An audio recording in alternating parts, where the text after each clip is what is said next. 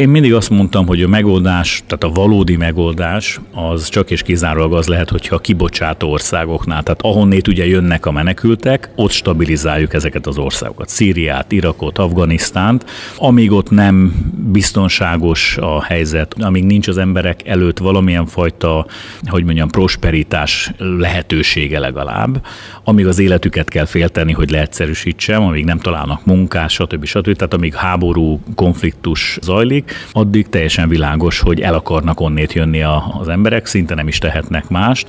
Tehát a legfontosabb, hogy stabilizálni kell ezeket az országokat, politikailag, gazdaságilag és hát a biztonság szempontjából, tehát katonailag is. Aztán a második legfontosabb dolog, hogy akik menekülnek, azoknak ott a saját országukhoz közel kellene valamilyen fajta elhelyezést biztosítani, tehát ez Törökország, Libanon, Jordánia, tehát magyarul legyen esélyük az embereknek mondjuk például Szíriába visszamenni a saját hazájukba, ha majd vége van ennek a konfliktusnak.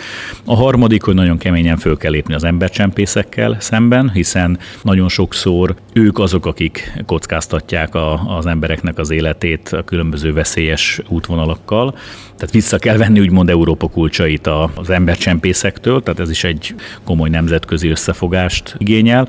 A harmadik vagy negyedik ilyen irány az, hogy aki már ide érkezett, akár Magyarországra, akár az Európai Unió más országába, hát náluk azért mérlegelni kell a különböző szabályok alapján, ki kaphat státuszt, tehát ki az, aki tényleg az életét menti ki, és ki az, aki úgymond csak idézőjelbe gazdasági okok miatt hagyta el a, az országát. Aki menekül, annak menedéket kell adni, mégpedig valamilyen fajta európai szolidaritás logikáján. Tehát nem lehet azt várni, hogy csak Németország, csak Svédország, csak Finnország viselje ennek a menekült tehernek a teljes súlyát.